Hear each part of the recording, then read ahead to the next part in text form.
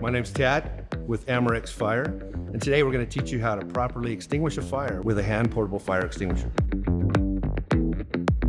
Here at Amerex, we want to make sure that you know safely how to extinguish a fire. Should you encounter a fire that you think has been burning for quite some time, call 911 or have someone else do it for you before proceeding to extinguish the fire. Okay, now let's begin the process of how to use these Amerex hand portable fire extinguishers. Most people think that there's only three classes of fire, A, B, and C. However, that's not correct. There's actually five, A, B, C, D, and K. Class A fires are anything that leave an ember or an ash, like wood, paper, or plastic. Class B fires are classified as flammable liquids, anything like gas, alcohol, or grease. Class C fires are for anything that is electrically energized. Class D fires are for metals such as magnesium or titanium. So class Ks are used for commercial kitchen fires. So you can identify the class of extinguisher by looking on the label. It will have one of those five classifications.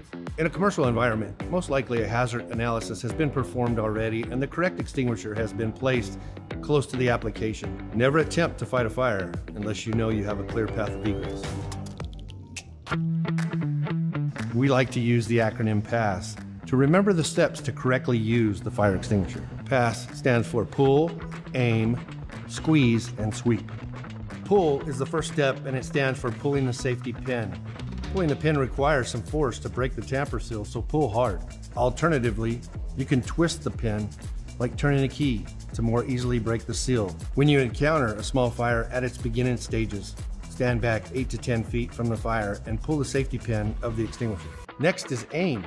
Aim the nozzle or hose at the base of the fire. Aiming at the base is extremely important because you want to be sure that you're starting at the base of the fire, not at the top of the flames. Once you've aimed the extinguisher at the base of the fire, the next step is squeeze. Squeeze the trigger handle at the top of the extinguisher. This will discharge the contents of the extinguisher. Be prepared for discharge recoil by holding the extinguisher and hose firmly. When using an extinguisher that has a flexible hose assembly, aiming is much easier if you hold the hose with your dominant hand while operating the lever with your non-dominant hand. The last step is sweep. As you discharge the extinguisher, sweep the hose side to side past both edges of the base of the fire. Make sure that you're sweeping fast enough to keep the fuel from reflashing.